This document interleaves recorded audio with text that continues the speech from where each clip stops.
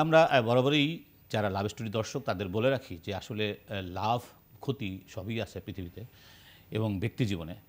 কিন্তু আজকে আপ- আপনাদের সামনে যেই শিল্পীকে আমরা হাজির করছি কিংবা উপস্থাপন করছি তাকে দেখে আপনাদের কোনো লস হবে না। বরঞ্চ অনেকটা লাভের পাল্লা অনেকটা ভারী হবে কারণ অনেক দিন তাকে আমরা সশরীরে বাংলাদেশে দেখি না। আমেরিকার সিটিজেন খুবই মানে ইয়াং লেডি আমি আমি যতদিন ধরে মিডিয়ায় কাজ করি ততদিন ধরে এরকমই তাকে দেখছি। তিনি রিচি। রিচি আপনাকে স্বাগতম লাভ স্টোরিতে ভালোবাসার গল্পে। আসলে ভালোবাসার গল্প বলতে আসলে আমরা যখন আমরা তো একই সময়ের মানুষ তখন আমরা নাটকের শিল্পী বা ভালোবাসার শিল্পী ভালোবাসার অভিনয় শিল্পী রিচি সুলাইমানকে খুব আমরা খুব মিস করছি। এখনও করছি কিন্তু আপনি এখন আমার সামনে। এবং আপনি এখনও নাটক করছেন এবং এই কদিন আগেই আপনি একটি ভ্যালেন্টাইনের স্পেশাল নাটক করলেন সেটি মিলনের সাথে আনিসুল মিলন এবং আপনি এবং চনিকা চৌধুরী ডিরেকশন হ্যাঁ। এই যে নাটকের প্রতি ভালোবাসা এই যে নাটকের জন্য ফিরে আসা বাংলাদেশে কিংবা নিজের জীবনের জন্য ফিরে আসা বাট এই যে নাটকের ভালোবাসাটা একটু জানাবেন বলবেন। এই জায়গাটার প্রতি অবশ্যই ভালোবাসা কাজ করে। ভালোবাসা কাজ করে না, এটা না বললে তো আসলে মিথ্যা বলা হবে, ঠিক বলা হবে না। ভালোবেসে এই জায়গাটায় কাজ করেছি, অনেক কিছু ত্যাগ করেছি, অনেক স্যাক্রিফাইস অনেক কম্প্রোমাইজ অনেক কথা শুনতে হয়েছে। রাত করে বাড়িতে ফিরেছি শুটিং শেষ করে। হয়তো বা সেটা আমার দোষ ছিল না ইলেকট্রিসিটি ছিল না। আগে আমাদের প্রায় এক ঘণ্টা, দেড় ঘণ্টা লোডশেডিং থাকতো। হয়তো এগারোটা জায়গায় বারোটা বেজে গেছে, একটা বেজে গেছে। সো এই কারণে মার কথা শুনতে হয়েছে, বকা শুনতে হয়েছে। তো এগুলো অনেক ধরনের কষ্ট ছিল। এই কষ্টর মধ্য দিয়ে তো একটা জার্নি ছিল। যে ভালোবাসা না থাকলে এই জার্নিটা কখনোই হতো না।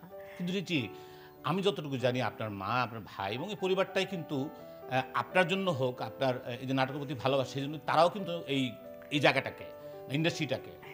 ড্রামা ইন্ডাস্ট্রিকে খুব ভালোবেসেছিল ঠিক? এখনও বাসে এই যে আমি এখানে আসব আমি সব কিছু ফেলে দিয়ে কিন্তু চলে আসলাম। আমার দুই বাচ্চা আমার জিনিসপত্র সব কিন্তু আম্মু গুছিয়ে গুছিয়ে রাখছে। এখনও বাসে।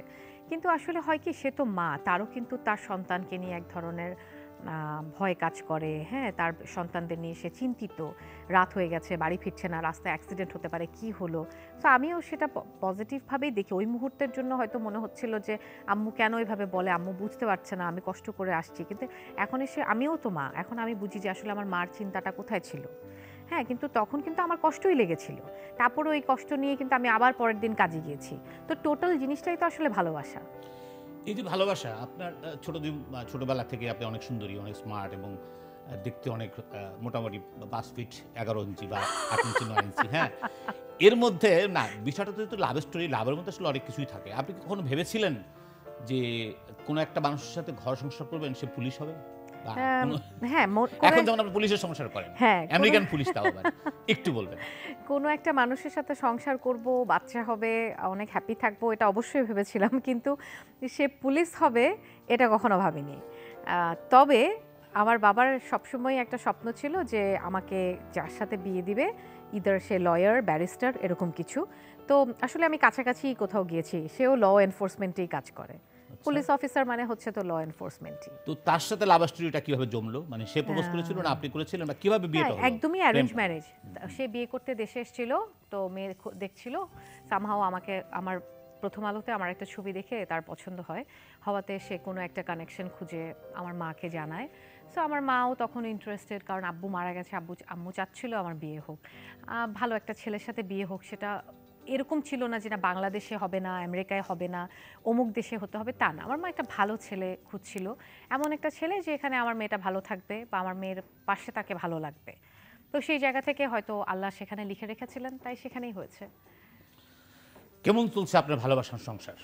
আলহামদুলিল্লাহ আপনাদের দোয়ায় সব দিক থেকে খুব ভালো চলছে আমি খুব ভালো আছি। আমি সবার কাছে কৃতজ্ঞ।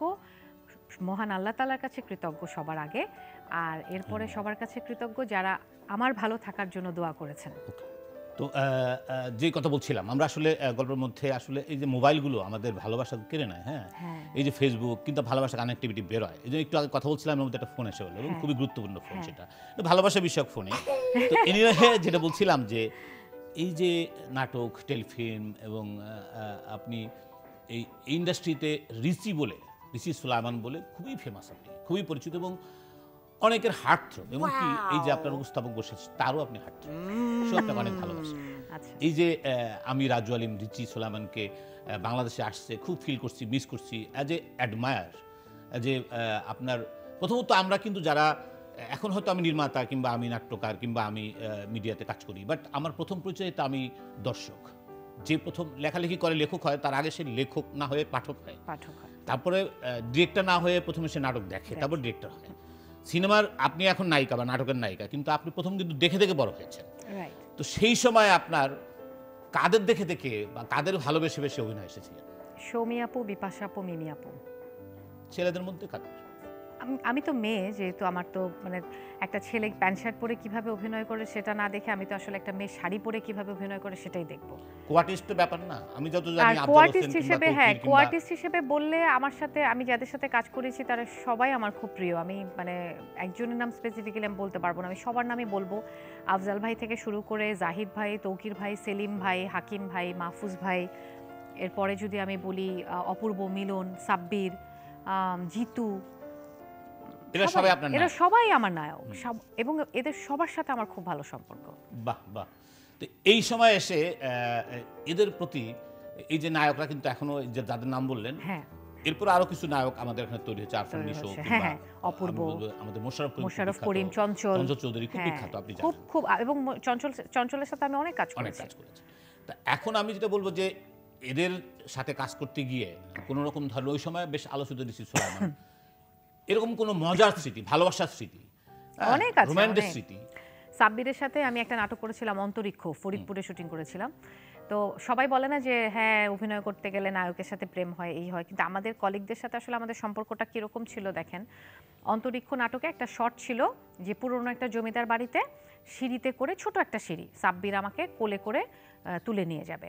তো এখন একটা নায়ক যখন একটা নায়িকাকে কোলে তুলবে সেখানে কিন্তু নায়কেরও একটা ইয়ে কাজ করে আমার মানে নায়িকারও করবে মীর সাব্বির। তো আমার আমি ওকে ও যখন আমাকে বলছে রেডি সুমন আনোয়ার ছিল ডিরেক্টর সুমন বলছে রেডি রিচি রেডি সাব্বির রেডি হ্যাঁ সুমন ভাই রেডি।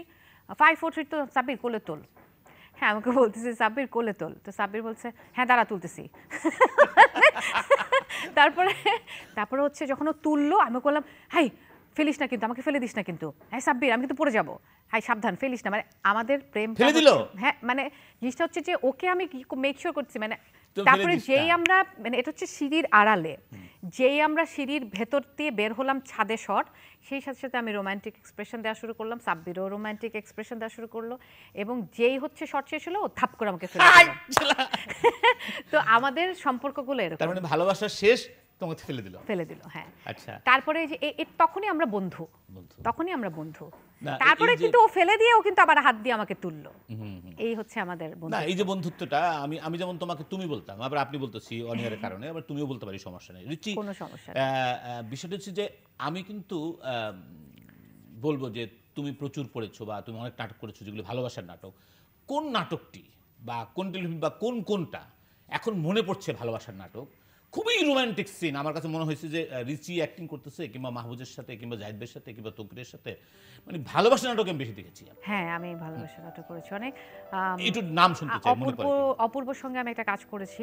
এই নাটকটা ইদানিং দেখছি ইউটিউবে অনেক বেশি আসছে বা সবাই দেখছে। নাটকটার নাম হচ্ছে ওপারে একা।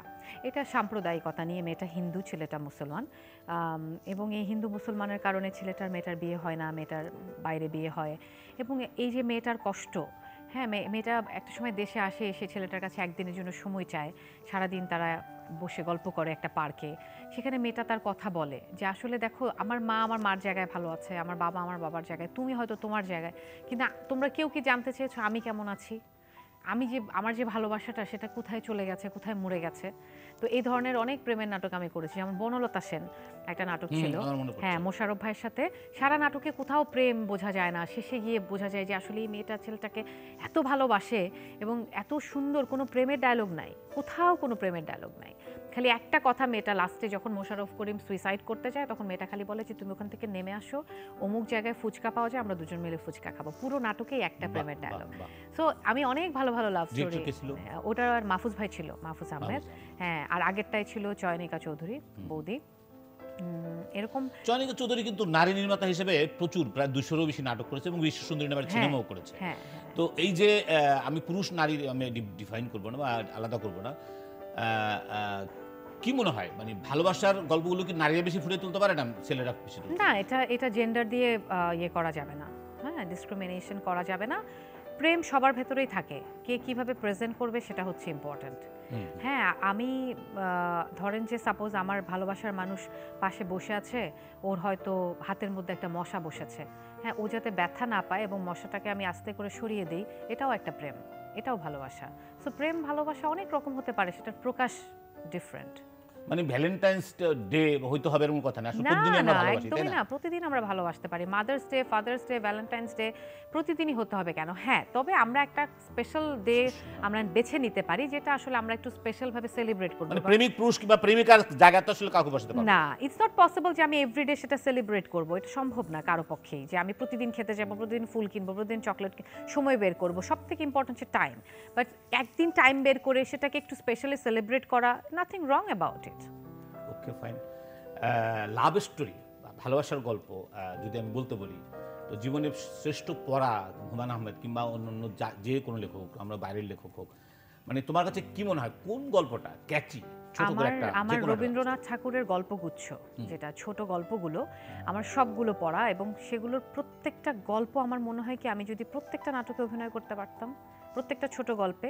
যেমন এক রাত্রি একটা বাঁধ ভেঙে যায় সেখানে ওই পারে ছেলেটা এই পারে মেয়েটা যার সাথে ওর বিয়ে হওয়ার কথা থাকে। হ্যাঁ। এই যে প্রেম তারপরে কাবলিওয়ালার মিনি যদি আমি বলি কাবলিওয়ালার সাথে মিনির যে প্রেম প্রত্যাবর্তন প্রত্যেকটা আমি এখানে শুধু ওই যে মানে মানব মানবী যে আপনার একজন ছেলে বা একজন মেয়ের যে প্রেম সেটা না।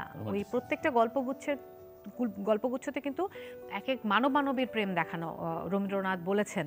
তো সেই গল্পগুলো আমার প্রত্যেকটা প্রেমের গল্প মনে হয় এবং মনে হয় যে আমি যদি প্রত্যেকটাতে অভিনয় করতে পারতাম। রিচি আমি খুব হালকা প্রশ্ন করছিলাম, কিন্তু তুমি এত উচ্চ মার্গে চলে গেলে রবীন্দ্রনাথের জায়গায়, শেক্সপিয়ারের জায়গায় জাপল সার্থ কিংবা হেমিংওয়ে এই টাইপের কথা বললে তো আমরা আসলে ভালোবাসা জমাইতে পারব না। তো আমরা শুনতে চাই নিজের ভালোবাসাটা মানে প্রথম প্রপোজটা কোত্থেকে আসছিল, এই পুলিশের ভালোবাসা প্রথম প্রপোজ। সবসময় আমার অপোজিট সাইড থেকেই আসছিল কারণ আমি খুব লাজুক আমি খুব ইন্ট্রোভার্ট এবং এখন আমি যত কথা বলি আগে আমি তার ফিফটি পার্সেন্টও বলতাম না। সো এটা আসলে আমার লাইফে কখনোই এটা হয়নি। এটা আমি খুব হলফ করে বলতে পারি যে আমি কোনোদিন কাউকে গিয়ে বলি নাই যে আমি আমাকে তোমার ভালো লাগে। বাট প্রচুর এরকম কথা শুনেছি আমি। আচ্ছা। মানে এখন যদি আমি বলি তোমাকে আমার অনেক ভালো লাগে বলতেই পারি আর্টিস্ট হিসেবে প্রেজেন্টার হিসেবে বলতেই পারি যে হ্যাঁ, ভালো লাগে হ্যাঁ। ভালো লাগে বলেই কিন্তু আমরা একজন বসছি আমরা হ্যাঁ। আমরা সামনাসামনি তো আমরা বলব যে এই যে আমেরিকাতে এখন জীবন যাপন করছ সেখানকার ভালোবাসা মানে ওইখানকার যারা তোমরা এখন বাস করে একটা কমিউনিটি আছে তোমাদের অনেক একটা বড় আমরা বলব টনি ডায়াসটা শুরু করে আমি হ্যাঁ। নাম বলতে পারব অনেকেরই বিখ্যাত হ্যাঁ আমাদের রোমানা আছে। নওশিন আছে হ্যাঁ এমনকি আমাদের সিনিয়র লতা পাও আছে লতা আন্টি আছেন আমাদের সাথে কথা হয় হ্যাঁ, জামাল আঙ্কেল আছেন হ্যাঁ তো ওই ওই জায়গার কমিউনিটি এখন কি ধরনের তোমরা একটা ভালোবাসার মধ্যে ওখানে অনেক বড় একটা কমিউনিটি হয়েছে ইভেন রেগুলার এখানকার আর্টিস্টরা আমেরিকায় বেড়াতে যায় নিউ ইয়র্কে বেড়াতে যায়। এবং আমি বলব এখানকার চেয়ে ওখানে হৃদ্রতা আতিথীয়তা আসা যাওয়া কমিউনিকেশনটা অনেক বেশি। হ্যাঁ ঘুরে ফিরে হ্যাঁ ঘুরে ফিরে আমরা বিভিন্ন ইয়েতে দেখা হয় আমরা দেখা করি মিলা শ্রাবন্তী আছে ওখানে। তো আমরা বিভিন্ন অজুহাত খুঁজে একটা উইকেন্ড বের করে এর বাসা ওর বাসা বাইরে গেট টুগেদার বাংলাদেশে যেমন কোথাও হুট করে যাওয়া যায় না ওখানে তো আমরা যে কোনো জায়গায় পার্কে বসেও আমরা বাদাম খেতে খেতে গল্প করতে পারি। তো ওখানে আমাদের মধ্যে আতিথেয়তা যোগাযোগ আন্তরিকতাটা অনেক বেশি। আমাদের লাভ স্টোরির গল্প খুব ছোট অনুষ্ঠানটা খুব ছোট কিন্তু আমরা খুব ক্যাচি কথা বলতে পছন্দ করি। তুমি এই মুহূর্তে তোমার দর্শকদের প্রতি তোমার যারা ভালোবাসার শুভানুধ্যায়ী এবং যারা তোমার দর্শক তাদের তুমি ভালোবাসার কি গল্প শোনাবে? তাদেরকে আমি ভালোবাসার গল্প ভালোবাসার মেসেজ একটাই দিব যে ভালোবাসা তখনই আসে যখন সম- সম্মানটা আগে আসে। আমার কাছে প্রতিবার বাংলাদেশে যখন আমি আসি আমার কাছে মনে হয় মানুষের প্রতি মানুষের সম্মান কমে যাচ্ছে। আমি আমি আমার ভক্তদেরকে অনুরোধ করব ভক্তদেরকে রিকোয়েস্ট করব যে তারা যেন মানুষের প্রতি ভালোবাসা অনেক বেশি বাড়িয়ে দেয় শ্রদ্ধা প্রথমে হচ্ছে শ্রদ্ধা বাড়িয়ে দেয় এবং সেই সাথে মানুষ মানুষকে যেন আরও আরও ভালোবাসে। দর্শক মণ্ডলী অসাধারণ কিছু কথা শুনলাম রিচি সোলাইমানের কাছে। আমরা আসলে আলটিমেটলি বলতে চাই যে, একটি মানুষ আমেরিকা চলে যাক, কানাডা চলে যাক, অস্ট্রেলিয়া চলে যেখানেই চলে যাক না, তার একটা ক্ষেত্র এখানে তৈরি হয়েছিল। রিচি সোলাইমান বাংলাদেশের টেলিভিশন খুললে যাকে দেখা যেত নায়িকা হিসেবে। আমি বলব যে চিত্রনায়িকা, যেহেতু চিত্রে ভাসত তার। আমি চিত্রনায়িকা ঋষির সাথে কথা বললাম মানে নাটকের নায়িকা, টেলিফিল্মের নায়িকা। আসলে নায়িকা এখন তো আসলে ডিজিটাল ফরম্যাটে এসে কোনটা নাটক, কোনটা টেলিফিল্ম, কোনটা সিনেমা, কোনটা ওয়েব এটা ভাগ্য করা যাচ্ছে না। তবে আমরা যেন এখন যারা কাজ করছে, তাদের বলি যে, ঋষি সুলাইমানদের যেন আমার হারিয়ে যেতে না দিই। তারা যেন আমাদের ভালোবাসায় থাকে। এটি আমার আজকে ভালোবাসার লাভ স্টোরির একটা মেসেজ সবাই ভালো থাকুন, সুন্দর থাকুন এবং ভালোবাসার সাথে থাকুন, লাভ স্টোরির সাথে থাকুন। ধন্যবাদ, ঋষি সুলাইমান। আবার আপনাকে। Thank you